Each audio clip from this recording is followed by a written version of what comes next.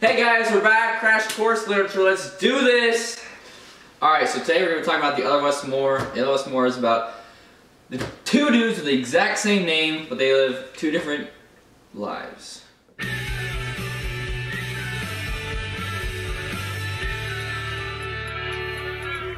and Evan! Jacob and Evan! Were they twins? No, stupid. The Other Wes Moore is a story about two fates, both coming from the same neighborhood. The Other Wes Moore talks about a story of two individuals coming from the same place, end up with two opposite lifestyles and futures. But how did this happen? Both Wes Moore and the other Wes Moore grew up in rough neighborhoods within the city of Baltimore. Inequality is represented through both Wes Moore's lives. Both men were raised by single mothers and surrounded by temptation. Facing very similar circumstances, two different lives are presented. Wes Moore was raised by a single mom, and when his dad died of a rare virus at the age of three. Despite childhood challenges, Wes was pushed by his mother to be the best he could whenever he could. He graduated military college and then served as a captain and paratrooper in the U.S. Army. On the other hand, the other Wes Moore took a different path involving gangs, drugs, violence, and even murder. His parents were Mary and Bernard. Oh wait. The other Wes Moore's parents were Mary and Bernard. He had one brother, Tony, who drastically influenced his life. He also had a difficult life growing up because of the absence of his father. He stayed in the streets and sold drugs. He robbed a jewelry store and assisted in the death of a police officer. He has now been sent to life in prison. So basically, the other Wes Moore let inequality like swallow his life, even though um, they were both like, you know, grow up in like really rough neighborhoods and stuff like that. They both were surrounded by, you know, they both were raised by a single mother. I think the other Wes Moore let, you know, even though there wasn't as many opportunities, he let that just like eat him alive. And he went, he turned to gangs and turned to drugs and turned to violence. But the original Wes Moore, you know, his mom was like, to, we're going to get you an education. So she sent him to military school and, you know, that opened up his life and, you know, that's why he's so successful today. Um, but the other Wes Moore let his older brother Tony, which I mean, you always look up to your um, older sibling, but in this case, it kind of took a turn for the worse as the other Wes Moore was dragged into the thug life.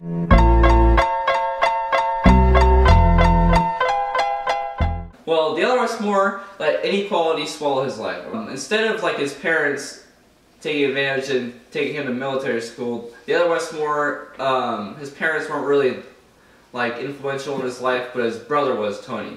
And Tony, being the older brother, he always looked up to Tony, but in this case it took a turn for the worse. Now, how might this relate back to American literature? Well, let's start with Frederick Douglass's slave narrative. So I like to start by reading one of his one of his quotes. He says, "Once you learn to read, you will forever you will be forever free." So I feel like this can relate to Wes Moore and he, how he was able to escape poverty and overcome um, his life situation through education. So like his mom sent him to military school and through military school in the future he's able to become a really successful man and you know through his business and his this book and able to convey um, everything he wanted to. Um, so in a interview with Oprah he says um, education played a major role in my life. He says, I think education taught me critical thinking. I think education showed me a world I never knew existed. And Wes says, my grandfather used to say that education is like a skeleton key. If you can get that skeleton key, you can open any door. I feel like that quote embodies what Frederick Douglass was saying with um, education is the, um, once you learn to read, you will be forever free. So I feel like those correlate with um, with inequality. Um, but Frederick Douglass's slave narrative um, shows inequality through um, how his slave owners didn't want him to read because they knew if slaves had the power to read and be educated that they would be on the same level. So they always try to keep literature and you know learning simple things like the alphabet away from slaves. But like Frederick Douglass like Frederick Douglass says, um, you know, once you learn to read, you will forever be free. So um, Frederick Douglass didn't let inequality stop him, and uh, he found out how to read, and uh, he became a really educated man, and that refers back to the other Wes Moore, or the original Wes Moore, you could say, um, and how he was able to escape poverty and overcomes life situation through education and the military program and everything like that. My subject um, was rebellion, so we're kind of mashing inequality and rebellion together. And so um, the, the successful Wes Moore particularly rebelled against the norms surrounding um, his family and neighborhood influences. So growing up in a um, particularly bad neighborhood, um, the norms were to drop out of school, become a drug dealer, be involved in gang violence and all this um, bad stuff. And so um, the successful Wes Moore kind of rebelled against those norms and went out his boundaries and to become successful. And that maybe that involves his parents intervening for him to be become the greater good. But all in all, he had to rebel to get out of that situation. And so, relating to rebellion in American literature, throughout Sargent Murray's um, essay on the equality of the sexes, throughout her essay, the author compares women's and man's ability in imagination, reason, memory, and judgment. She believed that women uh, are surrendered to use their imagination. So, in fact, they are allowed, if they were allowed time to imagine, they would be able to invent awesome things and write books such as these. However, this fertile brain of a female has been set aside due to the damage caused by the society's confinement. Women have been supposed to stick with the needle and kitchen, which wastes the intelligent parts of women.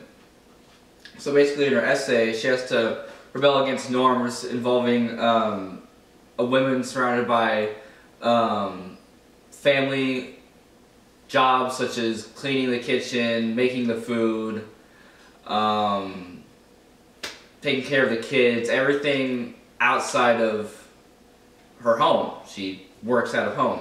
So, in doing this, Sargent Murray um, rebelled out of those barriers and became a writer and she wrote these and women got a hold of this book and became influenced and this book just started a trend of women getting out of their comfort zone and talking to their husbands and men about this inequality. America's literature was based off rebellion. Um, they, our style um, for our literature is different than our counterpart and so coming over to America and starting our own thing, American literature is based off of rebellion itself, including in this book, The Other Wes Moore. We hope you liked our video. Um, we compared inequality and rebellion um, from the Other Wes Moore to American literature. Have a great day.